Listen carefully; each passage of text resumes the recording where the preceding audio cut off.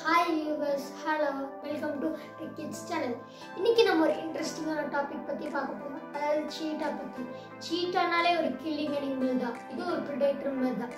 இந்த ப்ரிடேட்டர் வந்து லார்ஜ் கேட்டுன்னு கூட சொல்லுவாங்க.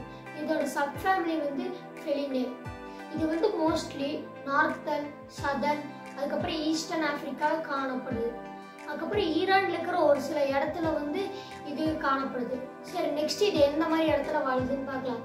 இது வந்து கிரே ஃபாரஸ்ட் ஸ்க்ரப் ஃபாரஸ்ட் அதுக்கப்புறம் ஹாட் சவாலர்ஸ்லாம் வாழுது இதோட மேக் மேக்ஸிமம் ஸ்பீட் பார்த்தீங்கன்னா வேர்ல்ட்ஸ் எல்லா அனிமல்லையே இதான் ஃபாஸ்டஸ்ட் அனிமல் இதோட ஸ்பீட் வந்து ninety three kilometre per hour short burst ரன்னிங்கில் இதை இதோட ஸ்பீட் வந்து நைன்டி த்ரீ கிலோமீட்டர் சரி நெக்ஸ்ட்டு இதோட ஹைட் பற்றி பார்க்கலாம். இதோட ஹைட் வந்து செவன்ட்டி டு நைன்ட்டி சென்டிமீட்டர் வரைக்கும் வளரும். பார்த்தீங்கன்னா டுவெண்ட்டி ஒன்லேருந்து செவன்ட்டி டூ கேஜிஸ் வரைக்கும் வளரும். சரி நெக்ஸ்ட் இதோட கான்வர்சேஷன் ஸ்டேட்டஸ் பார்த்தீங்கன்னா வல்னரபிள் பாப்புலேஷன் வந்து டிக்ரீஸிங் ஆகிட்டு இருக்குது.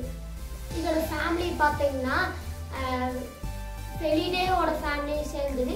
இதோட கிளாஸ் பார்த்தீங்கன்னா மெனாலியா நெக்ஸ்ட்டு இது வந்து எந்த ஃபேமிலியை சேர்ந்ததுன்னு பார்க்கலாம் மெயின் ஃபேமிலி இது வந்து கேட்டோட ஃபேமிலியை சேர்ந்தது.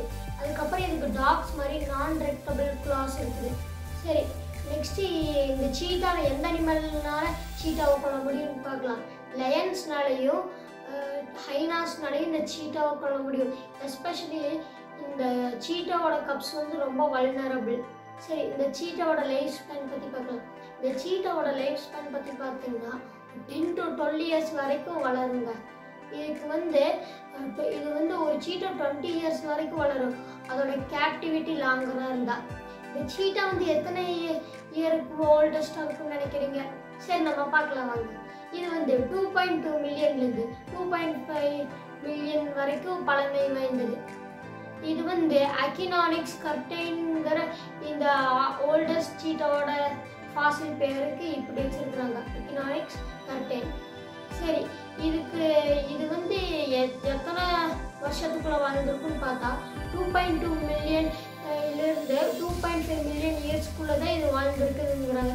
சரி வியூவர்ஸ் இன்னைக்கு நம்ம சீட்டா பற்றி நிறைய விஷயங்கள் பார்த்துருக்குறோம். சீட்டா எப்படி ஓடும் எப்படி அதோட மாஸ் ஹைட்டு அதுக்கப்புறம் நிறைய விஷயங்கள் பார்த்துருக்குறோம் இந்த வீடியோ உங்களுக்கு பிடிச்சிருந்தா லைக் ஷேர் கமெண்ட் பண்ணுங்கள் அதுக்கப்புறம் டெக் கிட்ஸ் சேனலுக்கு சப்ஸ்கிரைப் பண்ணுங்கள்